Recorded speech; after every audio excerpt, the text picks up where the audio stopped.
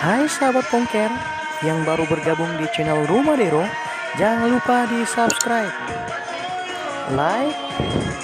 dan tekan lonceng notifikasi untuk mendapatkan info video terbaru dari Rumah Dero dan jangan lupa share ke media sosial kalian.